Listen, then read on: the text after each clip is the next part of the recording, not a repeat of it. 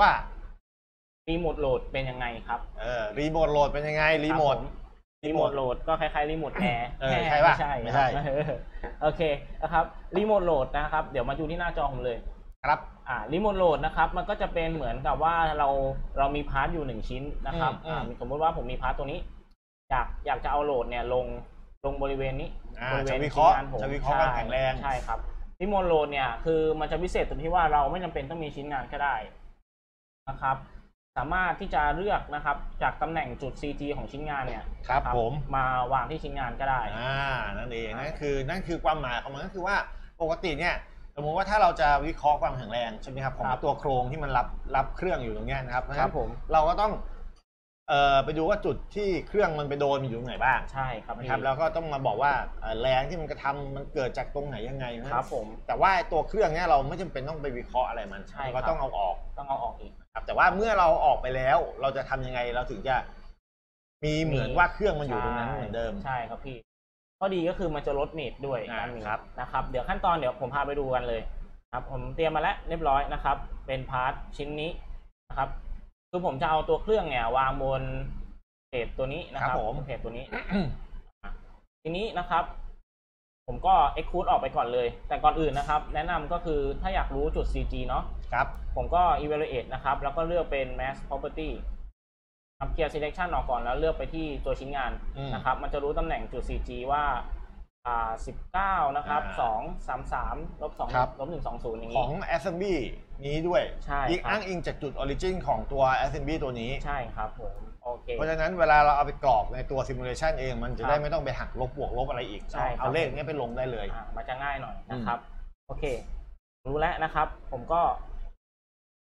อ่าคลิกขวา exclude เลยนะครับ อันนี้ผมเอามาโชว์เฉยๆนะครับผม ตอนแรกนะครับ นี่ exclude ออกปุ๊บนะครับ ผมก็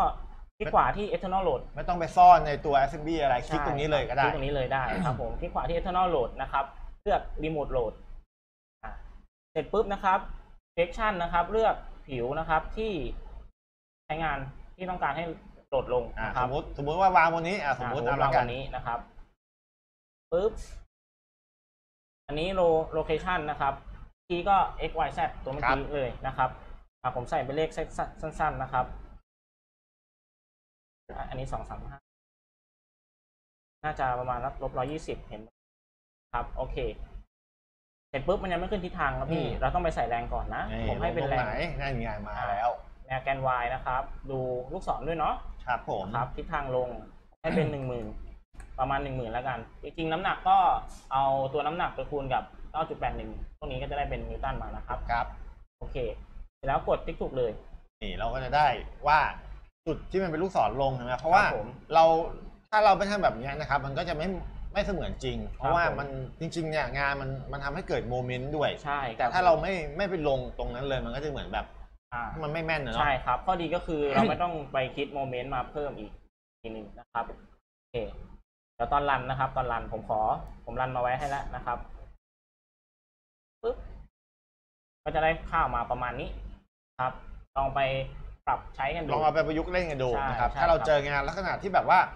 เอ้ยมันมีเครื่องอยู่ คืออาจจะไม่มีเครื่องก็ได้นะ ครับอาจจะไม่มีชิ้นงานหมดแต่เรารู้ว่ามันหนักเท่าเนี้ยอ่าใช่ ยกตัวอย่างอาจจะเป็นเอ่อมอเตอร์ลูกใหญ่ๆสักลูกหนึ่งครับเราผม เราไม่จำเป็นต้องไปเขียนโมเดลใช่ครับ ใช่ไหมแล้วเราก็บอกมันได้ว่ามันอยู่ตรงไหนครับแค่นั้นเองนะครับ อ่าลองเพื่อนๆลองเอาไปเล่นดูนะครับสำหรับการทำใช่ remote load